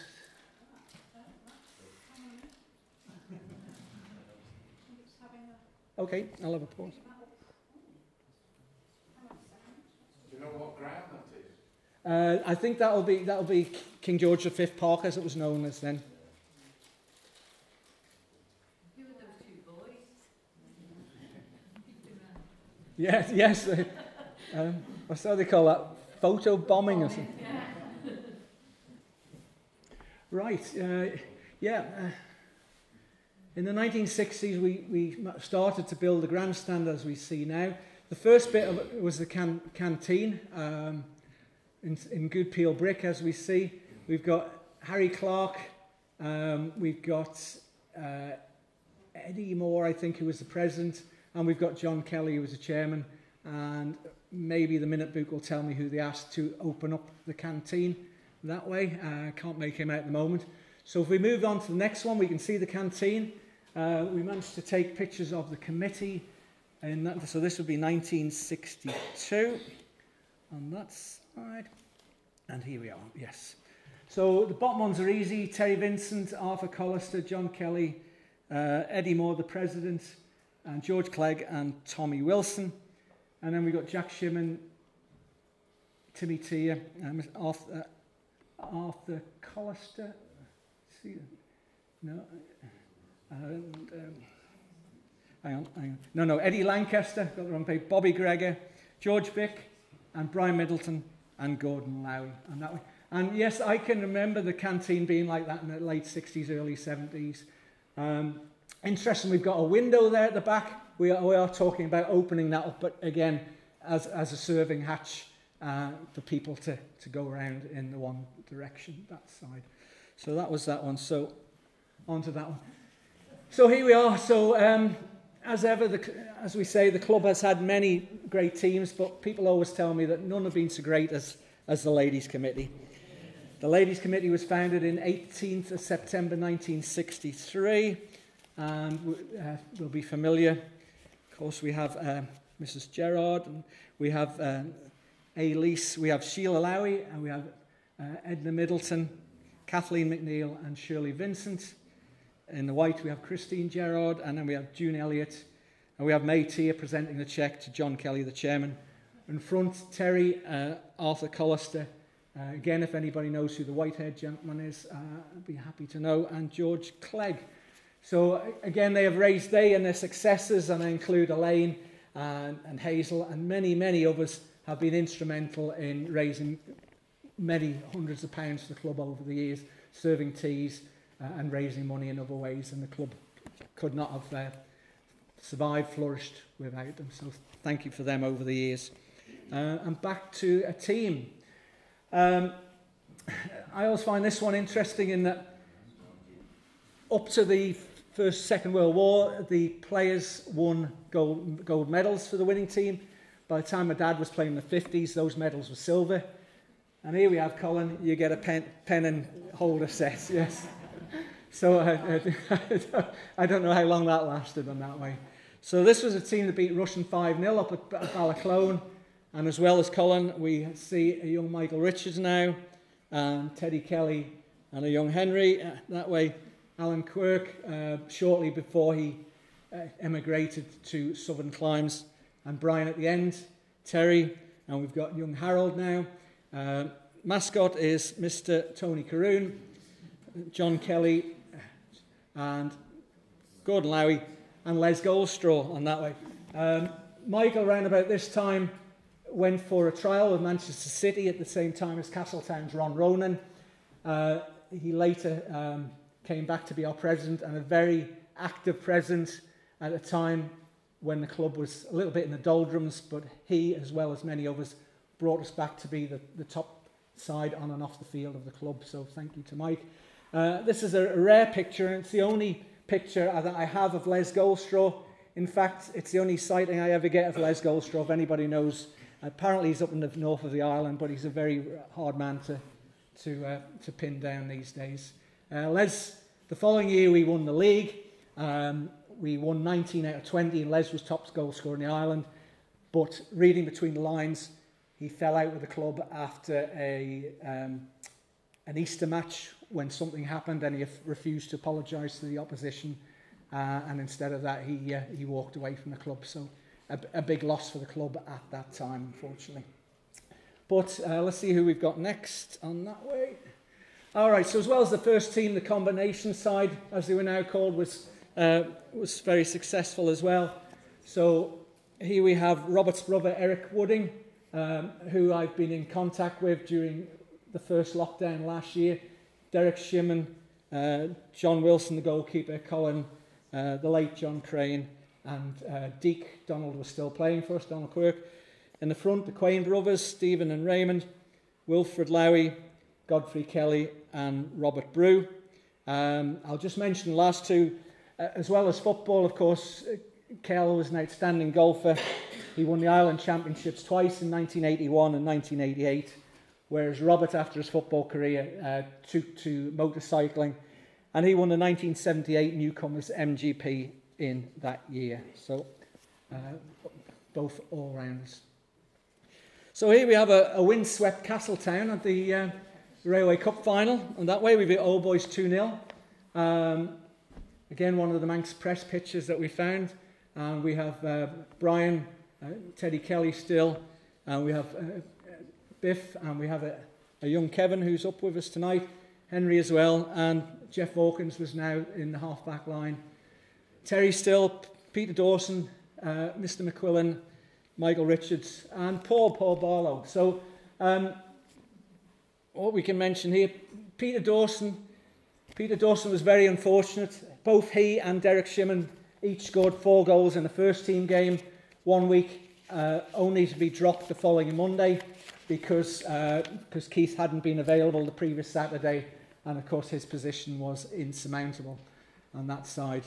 Um, Paul, this is what, where are you? These are one of the pictures I have promised you. Paul hasn't got any of his pictures, and I've got about six of them. So uh, my next job is to, to get you these. Can, oh, we just go back on that one if we can, please? No, or if we can't, not. Yeah, uh, on that side. Um, and yep, and I think that'll do. That will do us in that one. Right, 69 now. So, uh, some interesting on this one. We can see uh, members of the Middleton family, Debbie and Kevin. Uh, and I think this young lad on the front is actually David Lowy, uh, Biff's young lad who's now currently in Canada. And we've so we've got Henry and Brian We've got uh, Wilfred Lowy and Robert Brew, uh, Godfrey Kelly, the eternal substitute, uh, Michael Richards, uh, John Wilson, and Alan, who used to come back intermittently uh, from New Zealand to uh, play for us. We've got Keith Roberts, recently departed David Hughes, and, and Jeffrey as well. Um, we seem to, people may now forget that Wilfie was a very fine winger for the club. In the Railway Cup final this year, he, uh, he had scored a, a hat-trick. Um, but later that year, the team was playing Pulrose in a Railway Cup semi-final. Um, and the match was actually the subject of a, an inquiry by the FA. Uh, and, but what I believe is that Wilfie had, was kicked on the knee uh, by a certain Mr. Clark. And that effectively ended his, um, his outfield career. But he eventually became, as we know, a top-class goalkeeper as well. So thank you for that uh, that one. Um, the club would never, never survive without the, the generosity and support of the town. Uh, and here we have um, a, re- a reception with the then uh, chair, chairwoman, we'll call Barbara Cowley of that way, uh, 1970. And we'd won the uh, Railway and Hospital Cups.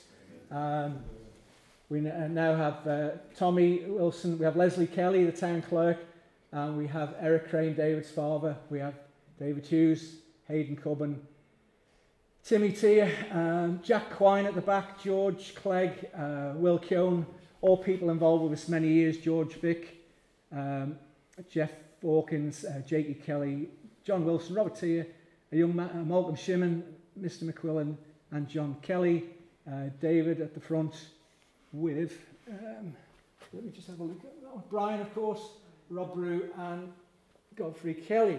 And I think if the young lady is Tricia Hughes at the front, if I remember from my youth that way, that side. Um, so here we are, another one from 71. The lad at the far end certainly looks to me like a young Raymond Golby photobombing the picture there. Um, so again, we have George, we have Brian, who looks rather like Art Garfunkel by that time, I think. Uh, Rob Brew and Malcolm Shimmin, Kel, uh, John Wilson and Robert Teare, and Jeffrey. We've got David, and we've got David Hughes, Keith. Again, I think young Kevin Middleton, and Kevin Hartley now coming into the first team, and Jakey Kelly. So, a couple of things about this one. Later in the season, we played in the FA Cup final, and John Wilson, I remember, dislocated his shoulder, and Roger Hawke had to go in goals that day, and we lost 1 0. Uh, but this, this team won the Railway Cup 1 0. Uh, the only goal was scored by our president, Mr. David Crane, who was in fact still only 15 at, at that time, um, at the start of his, uh, his wonderful career. Uh, and on the other end of that line, of course, is Jakey Kelly. Anybody who sees Jakey Kelly these days must wonder what on earth has, uh, has become of him that way, but uh, quite a character, all told. So on to the to my, to my boyhood heroes now. Uh, I'm, I'm glad we've got uh, this picture because it's the only picture we've got of all 12 of those who I say were instrumental in playing during this season. Uh, this, uh, this cup final has probably gone down in mythology. It was the Railway Cup final and it, it was Peel 6, Rushen United 4. Uh, it was 2 all at half time and we were behind three times. Gareth Jones got four goals for the opposition, all four goals uh, and Keith only got three goals for us. Um, that way, okay, and that way, yeah.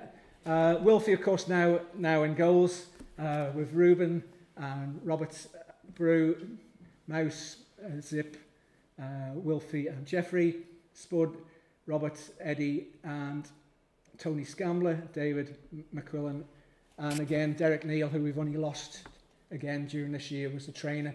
They did say that was interesting during 1933, we had a trainer from Liverpool, and in 1973, 40 years later, another very successful side, we had another Liverpool trainer that way.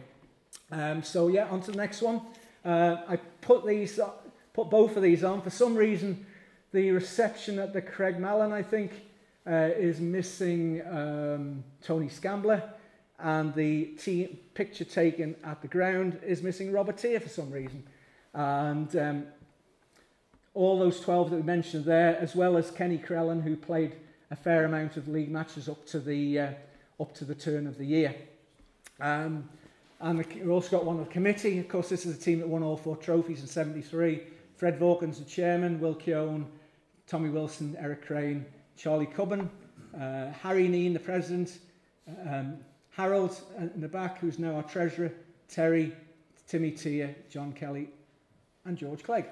Uh, so again, they lost one game, we, as well as beating, we beat Rushen again 6-0 in the FA Cup final, and we beat Laxey 4-2 in the Hospital Cup final in that side. So uh, this was the team I grew up with, and unfortunately this is a team that all of the, all of the subsequent teams are measured against, which is perhaps not fair on, uh, on those, because we've had some marvellous teams since. Uh, on to 1974.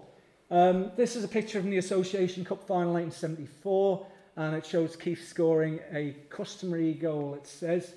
Um, Keith uh, McQuillan was born in 1944, so he was 28, 29 by this time. Keith is the only man in Peel football history to score over 500 goals for the club. The Grand Slam year, he scored 69. He scored over 50 goals this year, so that's 120 goals in, in two seasons. Uh, he was just um, a phenomenon. But uh, when, I was, when I was young um, and used to follow the team, we used to have a coach that was at the top of the town. And we always had to sit on the coach and wait for about 10 minutes till Keith and one or two of us ventured out of the Royal because uh, it was time to go to the away games and that way. Um, so this team, I would say, were as good, if not, not better. Um, if I remember, the two Kevins who were with us came into the side then. We were unbeaten right through. They won 46 games on trot. They were unbeaten in 52. And we came to the Hospital Cup final for the second Grand Slam. We'd beaten Malew 9-2 early in the season. Uh, but unfortunately, we didn't turn up. And Malew won 5-2. And it was the turn of the Lowy brothers uh, who scored the five goals between them to, uh, to end Peel's chance of a, a second consecutive Grand Slam, shall we say. Uh, and on to the next one. Right, uh, I put this one on. As, as we say, we've, uh, you'll, you'll all know in the papers now we've got such a great photographer called Gary Waitman with his action pictures. Um, in those days, though, you know, there's not so many action pictures, uh, but I do like this one for the, the vibrancy of the colours uh, and the, uh, the clarity as well. So on our side, we've got Kevin, uh, we've got Brent Thomas with the hair, we've got Roger, uh, we've got David, and we've got Davey at the background. And as well as that, I think it's John Manley, Keith Cameen, and Tam McLaren for Braddan. Um, so again, we were still dominant here. We beat, we beat Braddan 7-0 in the league. Uh, the following week, we played them in the FA Cup and promptly lost 4-3, which was the biggest upset in Manx football for many a year. But by the time this was played in the Hospital Cup, we beat them 8-0, so parity was restored. Um, and now we move on to the second team. As well as, um, as well as the first team being successful, we had a, a very successful uh, combination side with a, a lot of my mates in that team. Uh, this team lost two games in three years. They won three combination leagues. They won two junior cups. They lost the final of the third junior cup, but only when um, Wilfie had had his, his ribs broken um, by Joey Ennett, I believe, in the first match for Castletown. So by the time we played the replay, we just didn't have a goalkeeper on that side. And I believe, if I remember rightly, Keith Cannon went in goals, um, but refused to appear in the second half uh, in goals. And um, we certainly scratched. So we've got Wilfie, we've got Teddy, we've got Phil Killier, Jakey, Ruben, Reed, John Quilliam, Tony Scambler and Alan Colvin, Mark Hayes, who's now in Manchester, Sean, Sean Harley, uh, Neil Speed, Roger Christian and Brian Crellin. I sigh there because if you look at the front, we have lost Sean, Neil and Brian in recent years. And 15 years ago or thereabouts, we lost Ruben. Um, all went far, far too young, unfortunately. So uh, nothing more important than your health, I think. But uh, they were great, great times. Late 70s, both teams successful. Um, late nights in the Royal and other places. And uh, very, very happy times for the club and the town. Uh, but moving on, yes. Right, uh, so in 1980, things changed. Um, the, it was decided that we would build a clubhouse with a bar, um, and this caused uh, consternation amongst the old uh, members committee, I think. Uh, so we lost John Kelly, uh, George Clegg, uh, and various people at that time. We had a, a, a new committee. Um, including Mr McQuillan, myself with hair, Richard Collister, uh, Malcolm Shimmin with a very dapper jacket, uh, Tony Scambler, Howard Kelly, George Ingham, Raymond Golby and David, Tommy Wilson still with us and Fred Vawkins, the chairman, and of course Mr Dennis Tueart. Um, Howard Kelly, I think, was instrumental in, in bringing Dennis over. He was a star for uh, Sunderland and England on that side on that side. And that um, there's still a plaque above the bar of the uh, of the occasion. He also played for Man City. I remember famous goal in the League Cup final 1976 for those who've got YouTube on that way. So um, back right. this is a very weird picture, and I don't know why, for example, somebody has cut this. It's the only, it's the only version I've got of the 1981 picture.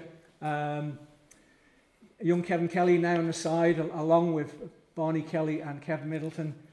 Uh, Brent, who's still got hair to die for, uh, John Hacking, uh, George Ingham and Fred Vawkins, and, and David, the captain, David Crane, Roger Christian and Eddie Convery. Um, I think uh, we put this one in because it shows uh, the actual height of the Ra Railway Cup, always reputed over the years to be the largest club in, cup in Europe, and um, uh, but, but who knows. Uh, it's done, it looks a bit wobbly on that one, but it has survived a couple of skirmishes. Um, I have read that when we had the, the railway station at St John's uh, and Ramsey won the cup and we were uh, runners-up, the two trains were parked together uh, at St John's and as we were pulling out of the station, one of the Peel team nabbed the railway cup from the, the window and brought it back to Peel. I think, Kevin, your father told me, told me that picture as well, Mr. Christian Sr., on that one. Um, there's also tales about either this or another the cup ending up in the deep fat fryer in the middle chippy in the 1960s. Uh, and of course, it was uh, to great cost for the club. It was smuggled back to Peel in a laundry basket after the 2003 success up at Ramsey. So uh, uh, it's, it's done well to Lassie, and it is indeed a wonderful trophy. Uh, so again, next on to 82, and that way. Uh, here we are, yes, there we are. Right, in 82, uh, we again caused a little bit of consternation that we allowed uh, three new players to the, join the club. After Malcolm Shim, we've got Ray Hicks, we've got Robert, Brian Lees came from St John's, we've got Spud, Kevin Kelly, Steve Jackson, the goalkeeper from Rushen. Um, Steve took a little bit of ribbing early on in his career for us because of his uh, uncanny resemblance to Peter Sutcliffe, unfortunately. uh, and we have uh, we've got Kevin and Derek, and then we've got Barney, and we've got Kevin Mid, Nicky Gerard, Fred the chairman, Eddie, Roger, and and Davy that way. Um, so it was at the end of it was at the end of this season that I whether it's passing of the year or starting another one, uh, is that Robert Teare retired after 24 years. And um, unfortunately, his last game, we'd won the Railway Cup, we'd won the FA Cup, and in the Hospital Cup final, we were drawn to play St Mary's, who were a second division side, who had no chance at all. Um, but unfortunately, I remember it was a very hot day, and St Mary's actually won 1 0, and the goal scorer was, was um, goal was scored by a member of the Crellin family, Alan, uh, and so it was a uh, ignominiously end for a marvellous career for Robert. Um, but of this team, if we go on to the next slide, we'll see that apart from Robert, it, two years later, it was virtually, virtually the, the same side. Tony was now our, our manager. We had Kevin, uh, Robert Bantam, who would come back to Steve Jackson, David Middy, um, Brian Les Wolfenden from our sponsors, Ray Hicks, Nicky Gerard, Barney Kelly, Kevin Kelly, Roger, Joe Kelly, Eddie and Spud, and various members of Canes and others at the front on that side. Um, so let me just get, well, that was Tony, Tony, Tony. Yes, Robert, uh, many will remember Robert, a, a great support of the club, a, a, a special needs person, but a special person as well. Um, he had some wonderful sayings like he never saw Peel lose. They always won Peel 7-3, Rushen nothing, which uh, took a bit of deciphering. Or uh, not so PC uh, about kicking people between the legs and putting them down on that way. But uh, he, was, uh, he was a great character at, at the ground that way. Uh, Barney, of course, uh, another great character of the club. Uh, he berated me once because I described him in a programme as being a a fine singer and a keen bowler. And he said, No, Colin, I'm a, I'm a great bowler and a keen singer, sort of thing. And he is, he's still winning the bowling competitions at, at this time. This year, of course, Kevin Middleton became Island Football of the Year, uh, exactly 20 years after Father Brian had won the very first uh, Footballer of the Year award, the Borough Rose Bowl in 1964. So we won League and Cup, but uh, this was the start of a, a bit of a drought, unfortunately. So let's see what happens then. Um, so at, the end of that season, Um, again, through Howard Kelly, we, we were able to arrange a match with the Kevin Keegan charity, the Sparks Association. Uh, their team was made up generally with former Liverpool and Burnley players. And, and I had to remind myself who was playing. Em, certainly Emlyn Hughes, Ian Callaghan, and again recently deceased World Cup winner Roger Hunt were all at the Douglas Road ground that day. Uh, Burnley players included Brian Flynn and Frank Casper. Uh, those were the days before political correctness and health and safety. And I spent the afternoon on the top of the grandstand um, recording a, co a commentary for the game, which was a bit hairy in those days. There was, there was no scaffolding at all, but we survived on that way. So um, that was in Ju uh, July, July 84, I think. About. It, it is, I think it's mentioned in the, in the book that way. So we reach our centenary in the next one, on that one. Um, a few more young faces now. Thomas Cobban, Lee Kane, Brian, Steve Jackson, Kevin Kelly, a notorious fullback of the old school, Nick Presky, Kevin Middleton, Stephen Ingham, and Kevin Christian, who's now a trainer, um, a young Stephen Corkill, a very mercurial player, Martin Costain, Roger, David, and Nicky Ingham. Um, the club was 100, of course, 100 on 1st of October 1988. We actually played that Ramsey that day. I, I did ask, this was the days before Tony Meffin was on the fixtures committee, and I did ask them that I didn't want the fixtures manipulated, but could we have a game, home game of Ramsey, who were our oldest, our oldest rivals that way, and they allowed that. Uh, unfortunately, it paid off because we won 6-0, and the chief um, incident of the game, of course, was Steve Jackson, who scored a goal direct from a, a kick out that day. First time I'd seen one of them, although in subsequent years we've seen by Jim Murphy and Stuart Fail for Peel and Aaron Story for Rushen at the ground. Uh, but it was quite a, quite a novelty at that time. Um, we did manage to reach a couple of finals that year. Unfortunately, in those days, for some reason, we used to choose to have our annual dinner the day before a cup final in several years. Uh, and so unfortunately, um, we did. I don't think we won any of them in, in that one. That one. Um, but the team did reach the final uh, the hard way. We took five matches to get past uh, St George's that season. Uh, I think I worked out about 10 hours, three sets of uh, extra time. Um, and we thought we'd, perhaps we'd done the hard bit by beating them, but uh, old boys beat us in this game. Right, so moving on this way.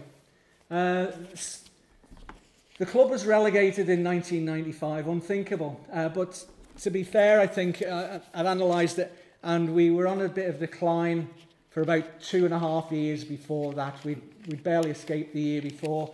We'd lost players through injury. Stephen Corkill, uh, uh, Tom Clucas was injured. Um, people uh, had left Kevin Quayle and Mark Kelly uh, senior that way, and we just didn't have the have the resources.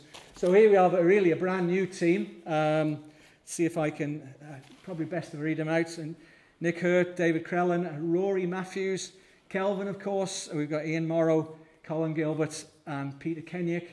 We've got David Rice. Uh, next lad's called Paul Winder, Nick Presky, Graham Gell, Tony Bennett, who's in Northern Ireland now, Sean Dickinson, and David Brew, Paul Quirk, Andy Rice, and John Spellman. Uh, Terry Harrison, Peter Richards, uh, Mark Smith, that's Skiff again with hair, yes. Um, Paul Sheffield. Uh, I must find out who the lady is, which is uh, not mentioned. Jim Murphy, Carl Bailey, Mark Hyde, and Paul Crellin. So, uh, again, uh, it's fair to say that we probably deserve to go down we only won three out of 22 matches, and, and you don't win anything with, that. But uh, if you look at the team about three years ago, we'd lost about half the team through transfers and injuries and other reasons. So, uh, on to the next one. Um, we didn't immediately um, get back to former glories the first year, but the second year, uh, Rick came over to the island and worked to be a physiotherapist at Nobles and, um, and decided that he would join our, our club. He played for Manchester City and Oldham, and um, in this season ahead was probably his best season for Peel. He, he played uh, 48 matches all told and he scored 47 goals, so quite a, a contribution then. Uh, the club, as I say, played 50. Kelvin played all 50 matches, uh, and that was in the days of replays and multiple replays, and it'll never happen again because we don't have any, any replays now on that side. So we won the second division, um, dropping only one point because it was only two points for a, a win then. And we, but we won the Association Cup and Hospital Cup, but both as a second division side. We also had crowds. We also had crowds of up to 500 at the matches, um, and being being biased or whatever, people say to me, "Oh, isn't this wonderful, Colin? Isn't this wonderful?"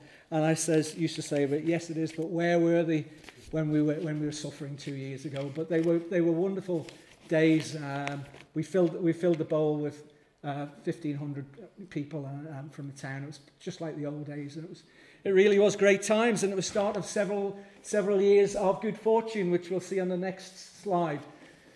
So, in 1999, we won all the three cups. Um, and here we have Brian, uh, sorry, we have Kevin, uh, we have Frank Dunn, we have Tommy, Peter Richards, and we have Peter Kenyak, a young Robert Cartier, Kevin, and Andy Morrison. Uh, we have Chris Hawke, Andy Kneen, Kelvin, Mr. Daniel Lace, Nick Hurt, Chris Kane, Stephen Corkill, David Rice, and Kevin McGarvey hiding in the corner there. Um, Kevin only had a few years with us, but he has a great claim to fame in Manx football. The Isle of Man beat Burnley in open play in one of the Steam Packet Festival games, and Kevin scored the only goal that day before going off to play for Morecambe. Um, in 1999, we didn't win the league, but in the last league game of the season, Mr. Nick Hurt uh, in the middle, uh, we played St George's. After 25 minutes, the score was nil-nil. At the end of the game, the score was 17-2, and Nick had scored 15 of those goals. Um, Chris Hawke came on as a sub and scored the other two, but probably could have got another six himself that way. Uh, uh that way, but uh, it was a, a rather bizarre, bizarre game that that day. Um, so back, oh, back, back one, back one. Sorry, I'm too. Uh, so the final bit, of the jigsaw was to win the league again.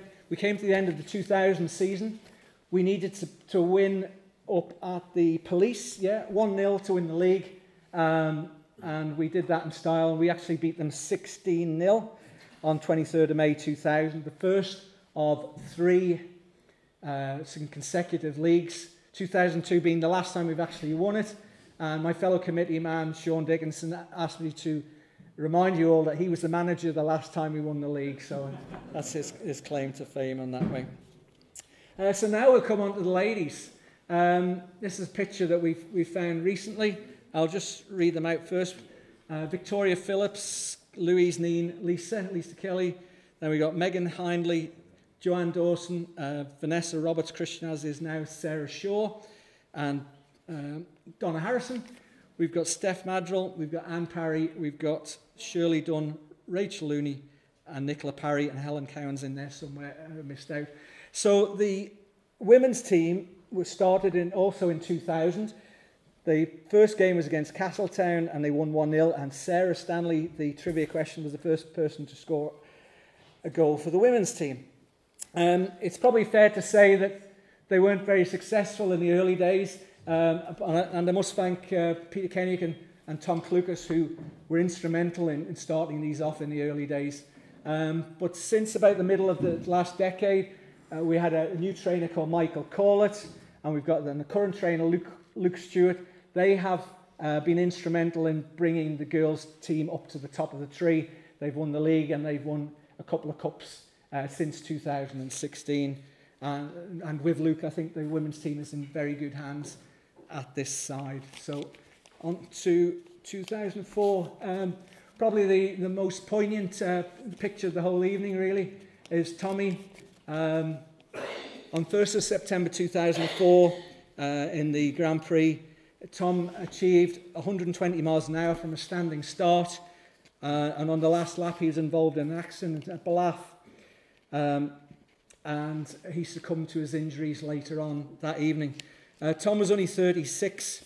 Um, his, he wasn't an out-and-out striker, but his, his average of one every two goal every two games, which I know 428 appearances and 213 goals, virtually one in two. Um, and he was a great, great character and a great inspiration.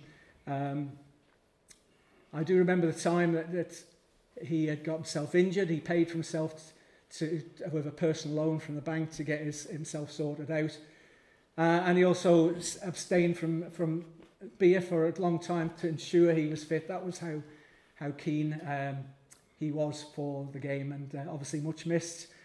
Uh, has a, a road named after him here. Um, but more importantly, on to the next slide, um, many, many involved in, uh, in the, the family, but as well people like Neil Kane, Kelvin Dawson, uh, Graham Gale, but many, many us were instrumental in raising funds to provide a, a permanent memorial for Tommy, which is the, the sports hall uh, at the ground, and that was opened nine years to the day after his, his, his uh, passing uh, and is, is well used by uh, many from within the town, but also from many from outside the town. It is a real community um, set up there. So uh, uh, well done to everybody for and for their ongoing work uh, in, in maintaining it as well. Uh, right, almost there now. Um, during the the last 20 years, um, we have been successful in several cups, but to be fair, we spent the majority of the time chasing the dreaded St George's in the league. We, have, we came second five times, uh, but it was a case if we didn't beat them in the first game, we would, um, we would struggle to catch them. Um, even when Steve Faulkner came along, we beat them twice in the league. We had to win our last two games to win the league, and we promptly lost both of them in 2016, which was a, a, a, a bit of a letdown. But we did manage to beat them in, in some cup competitions, certainly in 2016 down at Castletown, um, and this one uh, up at Ballafletcher, uh, and when we beat them 3-2 with, uh, um, everybody should be well known, with Karen and Tom, Don McGreevy, Johnny Shields, Owen and goals, Danny Bell, who uh, recently reached 500 games for the club, um, Eric Kelly, uh, Mark Kelly, Sean Kelly, who scored two goals against us on Saturday, I should have bleeped him out. Luke Doherty, Lee Gale, FC Isle of Man, instead of playing for Peel, but I might just forgive him. Matthew Woods, Billy Kenyick, uh, Matthew Skillicorn, Andrew Crennell, and Reese, who unfortunately missed most of last, or all of last season with a bad injury and is still finding his way back. We won this one 3-2. Tom Tom Wood um, putting the ball into the area in the 93rd minute and it went straight into the far post and gave them no time to get back. So that was a glorious, glorious day uh, and that way. Um, but I think since then we've lost a few players and at the moment we're a bit of a mid-table side. But we will, we will be back, I'm sure, before too long as the new young crop comes to the, the uh, fruition. Last couple now. Um, the side is, I just want to pay tribute to these, these two players here. Uh, Daniel, who's up the top there, I don't want to embarrass her, 836 appearances and counting. Stephen Corkill, 719 appearances uh, and, and still counting for the Masters uh, now and again. Uh, two tremendous servants for the club. Uh, and if we are going to be successful again, we do need servants like that, as well as uh, young up and playing coming players too. So we're in good hands with, the, the, with a good committee as well. If we go on to the next slide, um, but the, I think the important part of the club now is the amount of coaches we have in the junior football club setup. Um, many, many age groups and, and uh, a lot of admin there. Uh, and if they can match the uh, respect and uh, warmth that the club have felt towards Rowley and Terry in their work with the junior clubs, then they won't be doing a, a bad job. So on, on to this one. So uh, there we are. Um, if you enjoyed this evening, uh, bear with me for a couple of years because I am uh, rewriting the club's history. Uh, after that one 34 years ago, it's time for a proper one now, uh, but it will take two or three years. Um, if you didn't enjoy this evening, you really don't know what you're missing. Thank you.